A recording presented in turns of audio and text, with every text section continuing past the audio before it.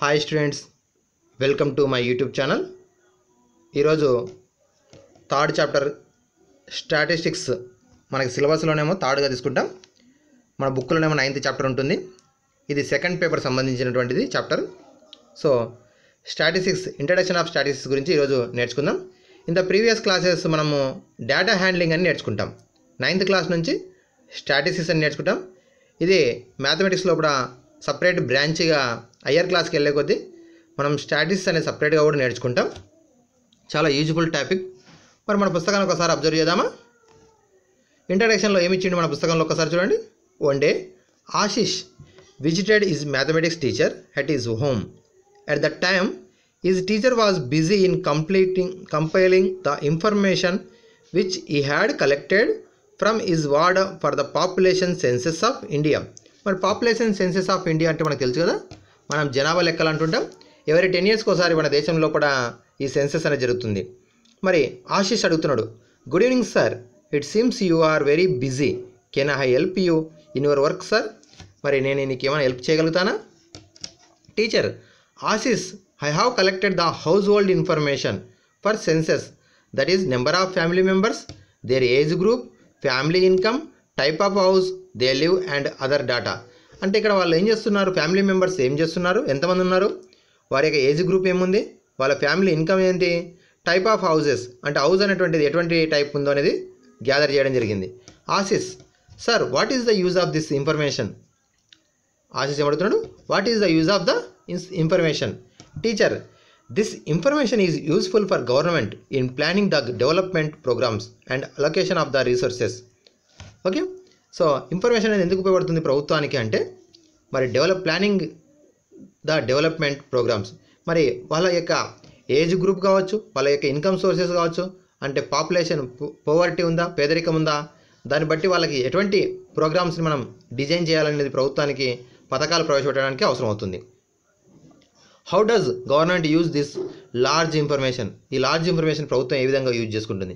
Teacher the census department compiles the massive data and by using required data handling tools analyse the data and interprets the results in the form of the information Ashish you must have learn to basic statistics data handling in your earlier classes earlier క్లాసెస్లో మనం ఏం నేర్చుకున్నాం? Data handling అని నేర్చుకున్నాం. మరి ఇప్పుడు ఈ యొక్క ఇన్ఫర్మేషన్ అనేది గ్యాదర్ చేసినట్టు ఒక టీచర్ ఇన్ఫర్మేషన్ గ్యాదర్ చేస్తేనే మనకి నియర్లీ హండ్రెడ్ పేజెస్ ఉంటుంది. అటువంటిది మనం ఇండియా మొత్తం కూడా గ్యాదర్ చేసినటువంటి ఈ సెన్సెస్ని మరి ఏం చేస్తారు అంటే ఈ యొక్క డిపార్ట్మెంట్ ఆఫ్ ద స్టాటిస్టిక్స్ వాళ్ళు సెన్సస్ డిపార్ట్మెంట్ వాళ్ళు ఏం చేస్తారంటే ఆ మొత్తాన్ని స- సమాచారాన్ని గ్యాదర్ చేసి ఒక టేబులర్ ఫామ్ని రివ్ చేయడం జరుగుతుంది. మరి ఆ టేబులర్ ఫామ్ని బా- ఆధారంగా చేసుకుని మనకి గవర్నమెంట్కు సబ్మిషన్ చేసినట్టయితే గవర్నమెంట్ మనకి డిపా డిపార్ట్మెంట్ వాళ్ళు దాన్ని జనరలైజ్ చేసి సమాచారాన్ని ఆధారంగా పథకాలను ప్రవేశపెట్టడం జరుగుతుంది. మరి ఇప్పుడు చూడండి like ashish we too come across a lot of situations where we information in the form of facts numerical figures tables graphs etc this may related to price of vegetables city temperature cricket scores polling results and so on. These facts are figures which are numerical or otherwise collected with a definite definite purpose are called data. Extraction of the meaning from the data studied in the branch of mathematics is called statistics. చూడండి ఇక్కడ. మనకి numerical data ఈ facts అనేటివి ఫిగర్స్లో ఉన్నటువంటి gather చేసినటువంటి numerical or otherwise collected with a definite purpose అంటే ఏదో ఒక పర్పస్ కోసం మనం ఖచ్చితంగా గ్యాదర్ చేసినటువంటి దీన్ని ఏమంటాం? డేటా అంటాం. ఈ డేటా అనేది extraction of the meaning from the data is situated in the studied in the branch of the mathematics ఈ స్టాటిసిస్ మరి వీటి గురించి మనం స్టాటిస్టిక్స్లో నేర్చుకుంటాం మరి ముందుగా ఒకసారి చూసినట్టయితే ఒకసారి ఇక్కడ ఒకసారి చూడండి యాక్టివిటీ ఇచ్చింది ఫస్ట్ యాక్టివిటీ మన పుస్తకంలో కూడా divide the students of your class into four groups allot each group the work of collecting one of the following kinds of data మరి తరగతి గదిని ఫోర్ గ్రూప్స్ చేసి ఫస్ట్ గ్రూప్కి weight of the all the students in your class second గ్రూప్కి number of siblings that each student have third group day wise number of absents in the your class during last month fourth group the distance between the school and home every student of your class so four గ్రూప్స్కి four activities ఇస్తున్నాం. మరి ఇక్కడ ఈ four యాక్టివిటీస్ని base చేసుకుని వాళ్ళు collect చేస్తున్నారు data మరి ఆ కలెక్ట్ చేసినటువంటి డేటాని ఏమంటామంటే మనం రా డేటా అంటాం. చూడండి ఇక్కడ have they collected information by enquiring each student directly or by visiting every house personally by the students అంటే ఆ గ్రూప్లో ఉన్నటువంటి స్టూడెంట్స్ వెయిట్ కావచ్చు హైట్ కావచ్చు ఆబ్సెంటీస్ కావచ్చు సిబ్లింగ్స్ కావచ్చు ఆ స్టూడెంట్ అనేటువంటి వ్యక్తి ఎవరినైతే ఎంక్వైరీ చేస్తున్నాడో ఆ ఎంక్వైరీ డైరెక్ట్గా పాల్గొనడం జరుగుతుంది. లేదా ఆ ఇంటికి వెళ్ళడం జరుగుతుంది పర్సనల్గా. సెకండ్ది have the student got the information from source like data available in school records మళ్ళీ లేకుంటే ఏం చేస్తున్నాం? ఒకటేమో డైరెక్ట్గా పాల్గొన్న తర్వాత తీసుకోవడం. సెకండ్ది ఏంటంటే స్కూల్లో ఉన్నటువంటి రికార్డ్ అంటే అంతకు ముందే ఎవరైనా ఆ రికార్డ్స్ని గ్యాదర్ చేసి ఉంటే ఆ రికార్డ్ని మనం రాసుకున్నట్టయితే that is the second first దాంట్లోనేమో primary data అంటాం. సెకండ్ దాన్ని సెకండరీ డేటా అంటాం.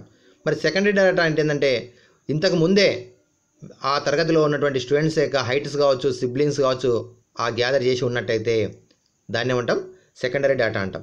చూడండి first case when the information was collected by the insulator or student with a definite objective the data is called primary data primary data in the about task number of absents in the last month could only be known by school attendance register so ఇక్కడ first దాంట్లో first one and one two four these four the three from the directly but second one is from the register రిజిస్టర్ని observe చేస్తేనే తెలుస్తుంది. ఎంతమంది absentees అయినారనేది so second ఇది.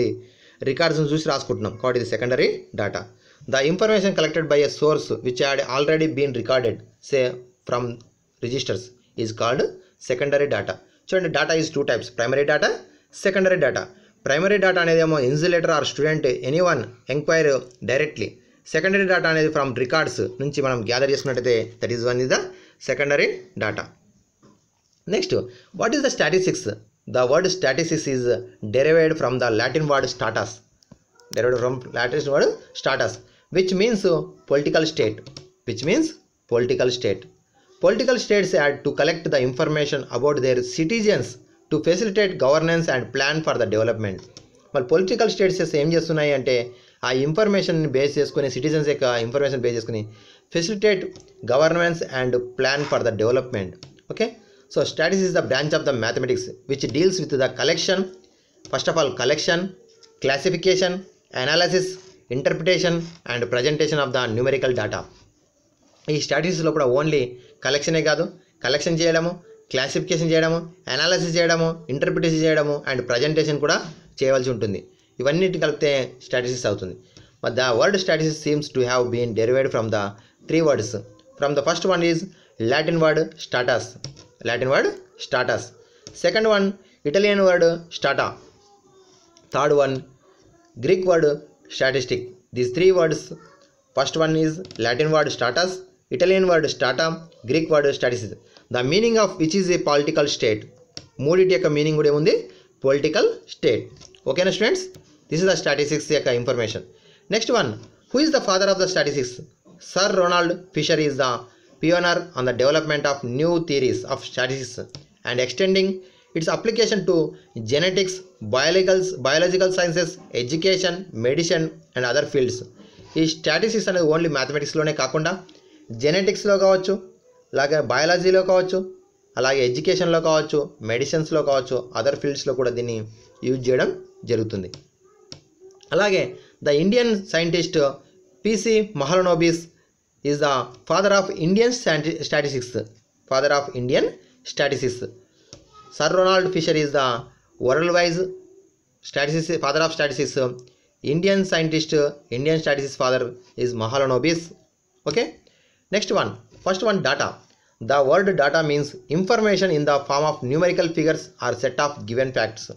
మరి information అనేది data అంటే ఏంటంటే information in the from numerical figures అంటే అంకెల్లో ఉంటుంది or set of given facts types of data statistics is basically the study of numerical data maximum ఇక్కడ స్టాటిస్టిక్స్లో ఎక్కువ న్యూమెరికల్ డేటా గురించి ఎక్కువ చదువుతుంటాం. It includes methods of collection classification presentation analysis data and in influences from data data such can be qualitative quantitative మనకు qualitative అంటే ఎలా ఉంది? Good or bad high ఆర్లో ఈ విధంగా ఉంటుంది. క్వాంటిటేటివ్ అంటే పరిమాణం. ఇక్కడ మనకి numbers twenty thirty fifty percentage seventy percentage ఈ విధంగా. క్వాలిటేటివ్ ఉంటుంది క్వాంటిటేటివ్ ఉంటుంది. If one speaks of honesty beauty colour the data is qualitative అంటే క్వాలిటీ గురించి చెప్తుంది. While height distance weight marks ఇవన్నీ కూడా ఏమవుతున్నాయి? క్వాంటిటేటివ్ సో కొన్నిటికేమో క్వాలిటేటివ్ ఉంటుంది కొన్నిటికేమో క్వాంటిటేటివ్ ఉంటుంది. ఓకే సో స్టాటిస్టిక్స్ రెండింటిని కూడా గ్యాదర్ చేస్తుంది. Next one data can also be classified or raw data or ungrouped data and grouped data ఇంతకుముందు చెప్పుకున్నాం data is two types raw data and ungrouped data raw data అనే ఇంకో పేరు ungrouped data అంటాం. Second one is the grouped data primary data and secondary data కూడా అంటుంటాం. Information which is in the form of numbers or words and helps in take taking decisions or drawing conclusions is called data మరి data యొక్క information అనే information అనేది నెంబర్స్లో ఉండవచ్చు వర్డ్స్లో ఉండవచ్చు మరి ఏం చేస్తుంది? Helps to talking taking decisions decisions కానీ లేదంటే drawing conclusions is called data tables and graphs are the ways of in which data is presented మనకి ఇక్కడ డాటాని గ్యాదర్ చేసినటువంటి డేటాని ఏం చేస్తున్నాం అంటే ఒక టేబుల్లో కానీ లేదంటే ఒక గ్రాఫ్స్లో కానీ లేదంటే ఈ విధంగా పిక్చర్స్లో కానీ పిక్టోగ్రాఫ్ అని నేర్చుకున్నాం మనం సిక్స్త్ క్లాస్లో ఈ విధంగా చూపించడం జరుగుతుంది. The numerical entries in the data are called observations మరి ఇక్కడ ఒక్కొక్క న్యూమెరికల్ వాల్యూని ఏమంటాం అంటే ఒక వన్ ఆఫ్ ద అబ్జర్వేషన్ అని అంటాం. అది హైట్ కావచ్చు మార్క్స్ కావచ్చు లేదంటే వెయిట్ కావచ్చు నెంబర్ ఆఫ్ ఫ్యామిలీ మెంబర్స్ కావచ్చు నెంబర్ ఆఫ్ ఫ్రూట్స్ కావచ్చు. Any one one is called one of the observation okay next one raw data or primary data data obtained from direct observation is called raw data direct observation is called raw data. The data is collected raw data or ungrouped data. మనం డైరెక్ట్గా gather చేసినటువంటి దాన్ని raw data అంటాం. Secondary data అంటే the data collected in the past or from other parties is called secondary data అంటే ఇతర వ్యక్తులు ఇదివరకే దాన్ని గ్యాదర్ చేసి ఉన్నట్టయితే మనం దాన్ని యూజ్ చేసుకున్నట్టయితే that is the secondary data the data is collected by the insulator himself as known as the primary data. While the data is collected by a person other than the insulator is known as secondary data next one data is conveys groups generally not exceeding ten or not less than five so ఇప్పుడు మనం gather చేసినటువంటి డేటాని ఏం చేస్తున్నాం అంటే five క్లా five tables టేబుల్స్లో కూడా five classes కంటే ఎక్కువ తక్కువ కాకుండా అలాగే టెన్ క్లాసెస్ కంటే మోర్ కాకుండా మనం గ్యాదర్ చేయవలసి ఉంటుంది. సో అబ్జర్వేషన్ అంటే each numerical figure in the data is called an observation ఇక్కడ ఏంది టెన్ ఇక్కడ ten and less than five అని ఇచ్చినాం కదా ఎందుకు? ఫర్ ఎగ్జాంపుల్ ఒక థౌజండ్ మెంబర్స్ మనం ఎగ్జామ్ నిర్వహించినాం. హండ్రెడ్ మార్క్స్కి హండ్రెడ్ మార్క్స్కి ఎగ్జామ్ నిర్వహిస్తే మనకి ఏమవుతుంది థౌజండ్ మెంబర్స్ లోపల one marks two marks three four five six seven eight nine ten ఇట్లా వస్తూనే ఉంటుంది. సో మనం టేబుల్ ఎలా తయారు చేస్తాము? ఫర్ ఎగ్జాంపుల్ ఇలా చూడండి అక్కడ రాస్తున్న వన్ టూ త్రీ ఇట్లా హండ్రెడ్ వరకు రాసినాం అనుకోండి. సో వన్ మార్క్ వచ్చిన వాళ్ళు ఒకరు టూ మార్క్స్ వచ్చిన వాళ్ళు ఒకరు త్రీ మార్క్స్ వచ్చిన వాళ్ళు ఇద్దరు ఫోర్ మార్క్స్ వచ్చిన వాళ్ళు త్రీ మెంబర్స్ ఇలా రాసినాం అనుకోండి. What is the use of this data no use మనకి ఇక్కడ డేటా అనేది మార్కులను గ్యాదర్ చేస్తున్నాం. హండ్రెడ్ మెంబర్స్ ఉన్నారు. ఆ హండ్రెడ్ మెంబర్స్ అబ్జర్వ్ చేయాలంటే మళ్ళీ ఒక ఫైవ్ మినిట్స్ పడుతుంది. మళ్ళీ ఎలా ఉండాలి డేటా అంటే అందుకొరకే five classes or five more classes ఉంటూ టెన్ క్లాస్ కంటే బిఫోర్ ఉండాలి. అంటే ఏం చేయాలి? వన్ టు టెన్ మార్క్స్ లేదా లెవెన్ నుంచి ట్వంటీ మార్క్స్ లేదా ట్వంటీ వన్ నుంచి థర్టీ మార్క్స్ ఈ విధంగా ఉన్నట్టయితే టెన్ క్లాసెస్ వస్తాయి. ఇప్పుడు కూడా కొంచెం ఇబ్బంది అవుతుంది. ఎందుకంటే టెన్ ట్వంటీ థర్టీ వచ్చినా కూడా అది ఫెయిలే కాబట్టి మనం ఏం చేయొచ్చు? One to thirty thirty one to fifty fifty one to seventy five seventy five నుంచి హండ్రెడ్ ఈ విధంగా తీసుకున్నట్టయితే ఏం చేయొచ్చు? ఓన్లీ ఫోర్ క్లాసెస్ ఉన్నాయి. ఇప్పుడు ఫోర్ క్లాసెస్ ఉన్నాయి కాబట్టి one to thirty member thirty marks వచ్చినటువంటి స్టూడెంట్స్ అనేటి వాళ్ళు వాళ్ళకి చాలా అవసరం అవుతుంది క్లాస్ చెప్పడం. ఎక్స్ట్రా క్లాసెస్ థర్టీ వన్ నుంచి ఫిఫ్టీ వరకు ఉన్న ఓకే యావరేజ్ ఫిఫ్టీ వన్ నుంచి seventy one above average seventy five to hundred intelligence ఈ విధంగా మనం డివైడ్ చేసుకున్నట్టయితే వాళ్ళకి ఏ విధంగా టీచ్ చేయాలని ఒక ఐడియా వస్తుంది. అలాగే పూవర్టీ సో మనకి పేదరికం మరి ఏ విధంగా ఉంది? మరి ఎవరికి ఏది కేటాయించాలంటే మనం ఒక ఫోర్ త్రీ గ్రూప్స్ ఉన్నట్లయితేనే ఈజీ అవుతుంది. అలా కాకుండా ఒక హండ్రెడ్ గ్రూప్స్ ఉన్నాయనుకోండి వాళ్ళకి అందరికి కూడా సమన్వయం చేయలేం. కాబట్టి ఈ విధంగా గ్రూప్స్ అనేవి కూడా ఎన్ని ఉండాలి? Five or more than five below ten మాత్రమే ఉండేటట్టు తీసుకోవాలి. నెక్స్ట్ వన్ అబ్జర్వేషన్ అంటే ఇంతకుముందు చెప్పుకున్నాం. Each numerical value is called one of the observation next one frequency ఇక ఈ చాప్టర్లో వచ్చేటటువంటి టర్మ్స్ ఇవన్నీ కూడా. ఫ్రీక్వెన్సీ అంటే the number of times a particular observation occurs in the given data is called the frequency of the observation చూడండి ఒక observation అనేది ఎన్నిసార్లు రిపీట్ అవుతుంది? అటువంటి దాన్ని ఏమంటామంటే ఫ్రీక్వెన్సీ అని అంటాం. వీటి గురించి ఇంకా మనం డీటెయిల్గా నేర్చుకుంటాం. నెక్స్ట్ మనం ఇంతకుముందు చెప్పుకున్నాం. డేటా అనేది మనం గ్యాదర్ చేసినటువంటి డేటా అనేది లేదా ఇన్ఫర్మేషన్ అనేది మనం ఏం చేస్తున్నాము? టేబుల్ రూపంలో కానీ గ్రాఫ్ రూపంలో కానీ పిక్టోగ్రాఫ్ రూపంలో కానీ ఉంటుందని చెప్పుకున్నాం ఇంతవరకే. మరి ఇక్కడ చూడండి మనకి సిక్స్ టైప్స్ ఆఫ్ నేర్చుకున్నాం ఇంతవరకే బిఫోర్ క్లాసెస్లో కూడా. సిక్స్త్ క్లాస్లో మనం నేర్చుకుంటాం ఫిఫ్త్ క్లాస్ సిక్స్త్ క్లాస్లో పిక్టోగ్రాఫ్ అని అలాగే బార్ గ్రాఫ్ ఇస్టోగ్రామ్ అంటాం అలాగే థర్డ్ వన్ పైగ్రాఫ్ అని కూడా నేర్చుకున్నాం. ఫ్రీక్వెన్సీ పాలిగాన్ అని నేర్చుకున్నాం ఫ్రీక్వెన్సీ కర్వ్ నేర్చుకున్నాం క్యుములేటివ్ ఫ్రీక్వెన్సీ కర్వ్ అని కూడా నేర్చుకున్నాం. మరి ఫోర్ ఫైవ్ సిక్స్ ఏమో ఈ మూడు కూడా మనము ఎయిత్ క్లాస్లో నేర్చుకున్నాం. పిక్టోగ్రాఫ్ ఫిఫ్త్ క్లాస్ సిక్స్త్ క్లాస్లో నేర్చుకున్నాం. బార్ గ్రాఫ్ కూడా నేర్చుకున్నాం సెవెంత్ క్లాస్లో. పైగ్రాఫ్ కూడా సెవెంత్ క్లాస్లో నేర్చుకోవడం జరిగింది. ఓకే? ఈ విధంగా మనం ఏం చేస్తున్నాం? డేటాని ప్రజెంటేషన్ చేస్తున్నాం. అంటే ఇతరులకు అర్థమయ్యేటట్టు మనం ప్రజెంటేషన్ చేయాలి. Representing the numerical data by the figures or pictures is called pictograph అంటాం. చూడండి ఇక్కడ కింద కొన్ని ఫిగర్స్ ఇస్తున్నా. ఫస్ట్ వన్ చూడండి ఒకసారి. పిక్టోగ్రాఫ్. అంటే ఇక్కడ మనకి కీ ఇస్తున్నాడు. స్కూల్ ఏ లోపల? Two oranges. One orange is equal to thousand oranges. One banana is equal to thousand bananas అని. ఇప్పుడు దీని నుంచి మనకి ఏమవుతుంది స్కూల్ ఏకు మనకి ఏమవుతుంది టూ ఉన్నాయి కాబట్టి two thousand oranges five bananas ఉన్నాయి కాబట్టి ఫైవ్ థౌజండ్ బనానాస్ కావాలనేది ఒక ఐడియా వచ్చేస్తుంది ఫిగర్స్ని చూడంగానే. This one is the pictograph second one is the bar graph దాని ఇస్టోగ్రామ్ అని కూడా అంటాం. Third one is the pie graph okay idea ఉందిగా మీకు? ఒక సర్కిల్ గీసేసి ఆ సర్కిల్లో ఏం చేస్తున్నాం అంటే ఈ విధంగా గీస్తున్నాం. సీకెండ్స్ ఓకే ఈ విధంగా మనం గీయడం జరుగుతుంది. Okay bar graph diagrams all the rectangle should be of the same breadth bar గ్రాఫ్లో మనం ఇంతవరకు నేర్చుకున్నాం length is dependent on the frequency breadth is dependent all are equal in pie diagrams value of the data ఈ represent by sectors sectors రూపంలో ఉంటుంది. ఇక్కడ చూడండి ఇక్కడ సెక్టార్స్ ఉంటున్నాయి. The angles of different sectors in pie diagram are proportional to values represented by them అయితే పిక్టోగ్రా ఈ యొక్క పైగ్రాఫ్ కూడా సెక్టర్ యొక్క యాంగిల్ అనేది depend on the value of the observation ఆ అబ్జర్వేషన్ యొక్క ప్రొఫెషనల్గా ఉంటుంది. ఓకే? ఫ్రీక్వెన్సీకి ప్రొఫెషనల్గా ఉంటుంది. ఇది మనకి పిక్టోగ్రాఫ్స్ బార్ గ్రాఫ్ గురించి నేర్చుకున్నాం. నెక్స్ట్ వన్ మన టాపిక్ వచ్చినట్లయితే మళ్ళీ ఇప్పుడు నెక్స్ట్ కాన్సెప్ట్ ఏముంది మన పుస్తకంలో అంటే presentation of the data. Presentation of the data. ఇది కూడా మనం ప్రీవియస్ క్లాస్లో నేర్చుకున్నాం. ఇక్కడ కూడా మరొకసారి నేర్చుకుందాం. Once the data is collected the insulator has to find out ways to present in the form which is meaningful easy to understand and shows its main features at a glance let us take different situation very new need to present the data. అంటే ఇక్కడ ఏం చెప్తున్నాడు? మరి insulator అనేటువంటి వ్యక్తి gather చేసినటువంటి information అనేది collect చేసినటువంటి ఇన్ఫర్మేషన్ అనేది ఏం కావాలి? ప్రజెంటేషన్ అర్థం కావాలి. మీనింగ్ఫుల్ ఉండాలి దానికి. అలాగే ఈజీ టు అండర్స్టాండ్. అంటే మనకి చదువుకున్న వాళ్ళకే కాకుండా చదువుకోవడానికి చదువు రానటువంటి వాళ్ళకు కూడా అర్థమయ్యేటట్టు మనకి గ్రాఫ్ ఉండాలి. అలాగే its mains feature is glance for example మనం క్రికెట్ బో క్రికెట్ చూ ఆడేటప్పుడు చూసింటాం. క్రికెట్ టీవీలో వచ్చేటప్పుడు మనకి రన్ రేట్ లోపల ఇట్లా ఇస్తాడు. ఫర్ ఎగ్జాంపుల్ ఒక వ్యక్తికి ఇట్లా ఇస్తాడు. First over second over third over fourth over fifth over అని. అప్పుడు ఏమవుతుంది? మనం చూడంగానే ఎస్ ఫోర్త్ ఓవర్లో ఎక్కువ రన్స్ చేయడం జరిగిందని తెలిసిపోతుంది. ఓకేనా? సో ఆ గ్రాఫ్ చూడంగానే తెలిసిపోతుంది. అలాగే మనకి ఈ విధంగా పై గ్రాఫ్ తీసుకున్నప్పుడు ఇక్కడ ఈ విధంగా ఇచ్చిండు.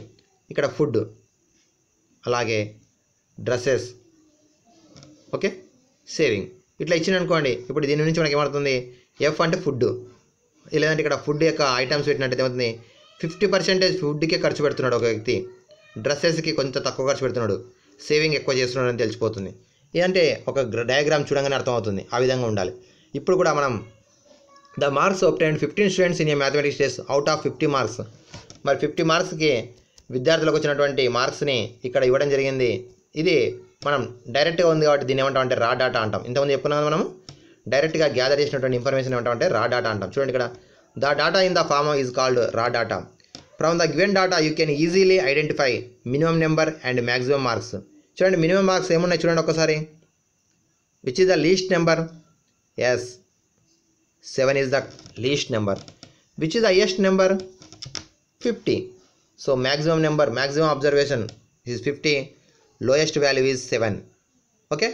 Minimum and maximum marks are 7 and 50 respectively. Here the new concept is range. Range. Range means uh, the difference between maximum and minimum values. The difference between maximum and minimum values. That is called range. Here 50 minus 7 equal to 43 is the range of this problem. Next one.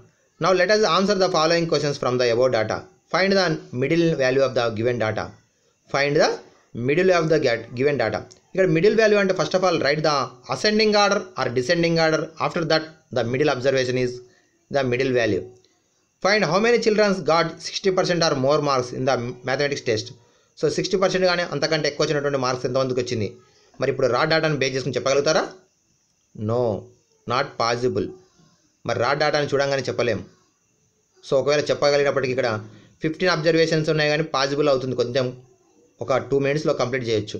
కానీ మనకి thousands of the students in the district one lakhs of the students in the state ఏ విధంగా చెప్పగలుగుతాం అలా? So చెప్పలేం. So దాన్ని ఇప్పుడు మనం tabular ఫామ్లోకి మార్చుకున్నట్టయితే ఈజీగా చెప్పవచ్చు. దాన్ని ఇప్పుడు నేర్చుకుందాం. ప్రజెంటేషన్ ఆఫ్ ద డేటా మరి ప్రజెంటేషన్ ఆఫ్ ద డేటాలో కూడా మనం కొన్ని ఇంపార్టెంట్ పాయింట్స్ నేర్చుకుందాం. ఏ విధంగా ఉన్నటువంటి ఇన్ఫర్మేషన్ ఏదైతే ఇచ్చిండో మరి ఏ విధంగా దాన్ని టేబులర్ ఫామ్ను ప్రిపేర్ చేయాలో చూద్దాం. We have seen that the data is a collection of numbers gather to give some information to get a particular information from the given data quickly the data can be arranged in the tabular form using tally marks మనం ఇక్కడ ఏం చేస్తామంటే Tally మార్క్స్ని use చేసి మనం ఇక్కడ tabular ఫామ్ని prepare చేస్తాం. చూడండి టాలీ మార్క్స్ అంటే ఈ విధంగా వర్టికల్ లైన్స్ ఉంటాయి. ఎన్ని ఉంటాయి వర్టికల్ లైన్స్ అంటే ప్రతి అబ్జర్వేషన్కి ఒక వర్టికల్ లైన్ గీస్తాం అయితే four more than four observations fifth observation వచ్చినప్పుడు ఏం చేయాలంటే ఆ ఫోర్త్ అబ్జర్వేషన్ ఒక గ్రూప్ చేయాలి. సో ఈ విధంగా ఈ ఫోర్ అబ్జర్వేషన్ని ఒక ఫిఫ్త్ అబ్జర్వేషన్తో మనం ఏ విధంగా చేస్తామంటే జాయింట్ చేస్తాం. ఒక గ్రూప్ ఏర్పడుతుంది. That one is five. The data is collected with some define purpose in any field of enquiry is large. It is difficult to take decisions by observing large data. It large data is simplified or considered and presented in the form of tables and diagrams. It is possible to take decision about the subject of experiment this process is known as data presentation so ఈ విధంగా gather చేసినటువంటి రా డేటాను మనం ఏం చేయాలంటే table ఫామ్లో prepare చేయాలి. టేబుల్ నుంచి ఏం చేయొచ్చు అంటే గ్రాఫ్ కానీ పైగ్రామ్ అని పిక్టోగ్రామ్ అని ప్రిపేర్ చేయొచ్చు. ఆ విధంగా చేసినట్టయితే ఏమవుతుందంటే ఆ మనం చేసినటువంటి డేటాకు మీనింగ్ఫుల్ అనేది ఉంటుంది.